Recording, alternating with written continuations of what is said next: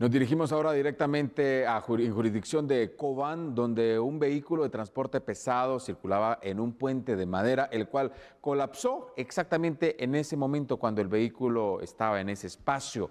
Ya las autoridades trabajan para el apoyo y, por supuesto, mejorar el área.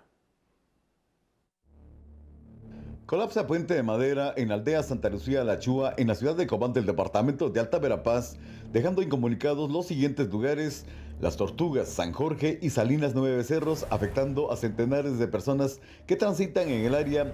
El incidente se registró cuando un camión que transportaba productos estuvo a punto de caer al río. Por esa razón se partió en dos el referido puente. Se espera que en el transcurso del día sea reparado para que al final de cuentas puedan pasar tanto peatones como vehículos. Sin embargo, es importante señalar que las tablas del puente ya se encontraban deterioradas, indicaron transportistas que se trasladan a diferentes sectores. Desde Alta Verapaz reportó Walter Más.